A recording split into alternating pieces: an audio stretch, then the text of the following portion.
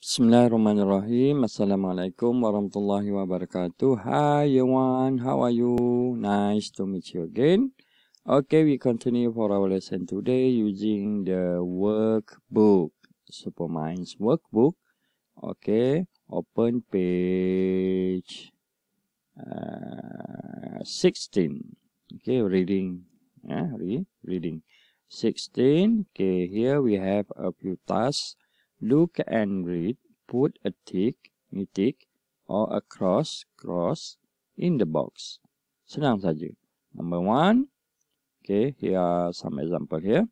There is the picture. This is a book. Okay, right or wrong? If right, you just write here. If wrong, you cross it.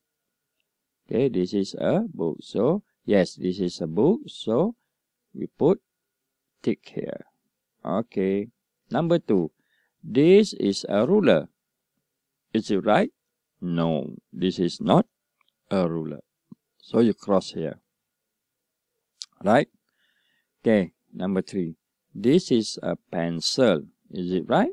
If right, you just tick. If wrong, you cross it. Okay. This is a pen. Okay. Is it right? Okay. You just cross it here. Number five, this is a ruler. Okay, is it right? Uh, if right, you just tick. If wrong, you just cross. Okay, number six, the last one is this is a notebook. Is it right? If right, you tick. If wrong, you just cross. Okay, that's all. We have uh, six uh, questions here. Okay, so you can answer all of this question. Uh, if you don't have your book yang tak ada buku, uh, you can copy all of this. You can draw the picture in your English too. Okay? So you can color the picture and then you write down the uh, sentence here. Okay? That's all.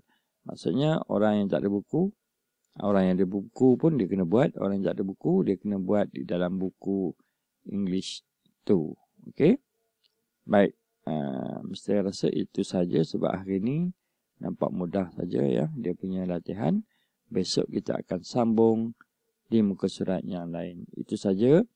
Dah siap boleh hantar tugasan kamu dengan ambil gambar dan hantar ke Mr. InsyaAllah untuk disemak. Assalamualaikum warahmatullahi wabarakatuh. Bye.